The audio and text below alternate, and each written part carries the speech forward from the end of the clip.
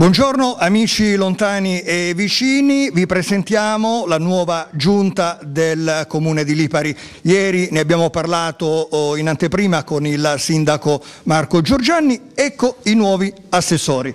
Il eh, prossimo, perché sarà questione di qualche giorno, vice sindaco Gaetano Orto, poi eh, Tiziana De Luca, Giovanni Sardella e Roberto Cuccia c'è un grande lavoro da portare avanti, si punta ovviamente al rilancio dell'arcipelago delle Olie, quindi toccherà a voi. Dottoressa De Luca, con quale obiettivo? Ecco, io intanto già che lei mi chiama così, mi può chiamare assessore, signora, mi chiami solo così.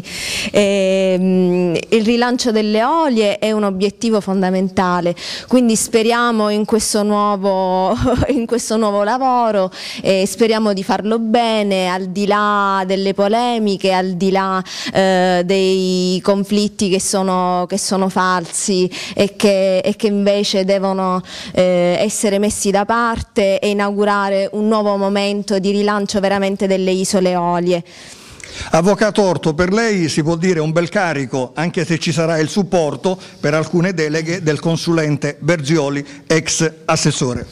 Sì, io devo dire che per me è stato doloroso lasciare il Consiglio Comunale eh, frutto anche del grande consenso elettorale che avevo avuto, però dinanzi a una scelta che il sindaco eh, ha fatto e quindi di chiamarmi in prima persona e di assumermi delle responsabilità dinanzi al Paese, sicuramente non mi sono tirato indietro perché come eh, dice la mia storia personale sono un lottatore, sono un ragazzo che ho sempre eh, costruito tutto con le battaglie e con le mie forze, spero di dare un grande contributo a questo Paese col mio impegno costante e vi posso garantire che lo farò con tutta la mia forza e la mia determinazione e spero di portare anche dei frutti insieme a tutti i miei colleghi eh, per il bene del Paese. La prima cosa sarà fatta per la sua, per la nostra Quattro Pani? Quattro Pani... Ci sono i supporti.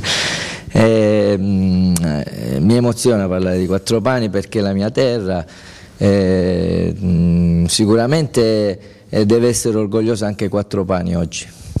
Giovanni Sardella, un compito abbastanza importante perché insomma c'è da ridare una nuova immagine a queste isole e a lei fra, tra le varie deleghe eh, c'è anche quella dell'arredo urbano. Qualcosa ha già fatto da consigliere, futuro assessore? Io innanzitutto devo ringraziare il sindaco e quanti hanno contribuito al mio nominativo di oggi essere assessore.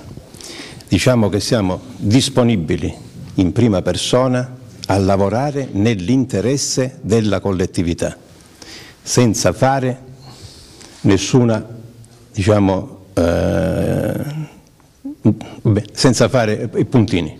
È preoccupato per le eventuali ripercussioni in seno al suo partito? No, nessuna. Eh, professore Cuccia, quindi un tecnico per rilanciare anche l'immagine turistica di queste isole che ormai è l'attività primaria perché insomma tutte le altre attività si può dire hanno chiuso i battenti. Ecco, quale sarà la sua strategia?